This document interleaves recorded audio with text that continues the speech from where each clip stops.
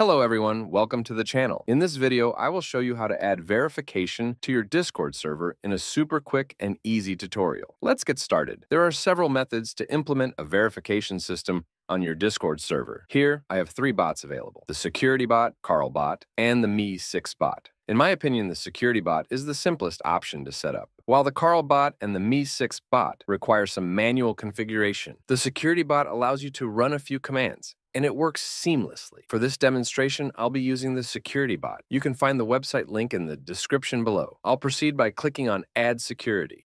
Here you can see that I'm already logged into my Discord account. If you're not logged in, make sure to do so before proceeding. Next, select the server where you'd like to add this bot. I'll choose this server and click on Continue. Then Authorize again. It's important to ensure that the bot has administrator permissions. Otherwise, it won't work properly. Now, let's head over to our server.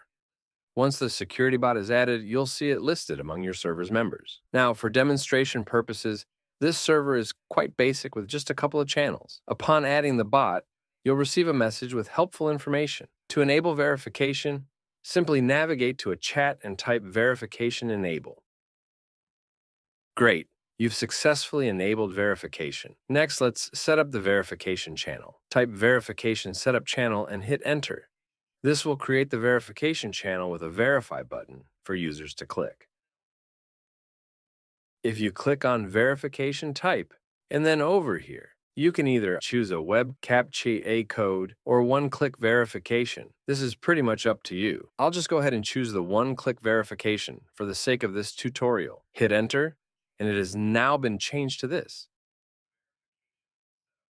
Then what we want to do is run this command verification setup role. If you click on this and hit enter, this pretty much sets up an unverified role, which should be given to anyone that now joins the server automatically, so they only see this channel. Then what we want to do is simply go to the server settings, go to roles.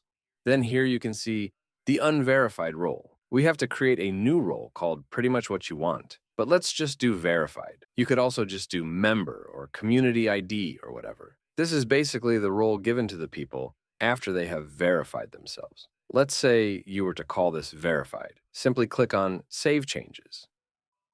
Make sure that this is above the unverified role, of course. Save the changes, permissions, view channels. That's the least that you have to do. Then for all of this, you can choose yourself. I'm not going to go over all that. That's up to you. Basically, click on Save Changes. Go back. Now what we have to do is you need to run one more command, and that is if you scroll a little bit down again, is click on Select Verification, Set Verified. Click on this, and here you have to select your role. First click on Role, then select the verified role. Now this means that when people verify, this is the role given. Once you've run these five commands, it should be all set up. That is how to add verification to Discord server. If you found this video helpful, give it a thumbs up and don't forget to subscribe to my channel. Thanks for watching.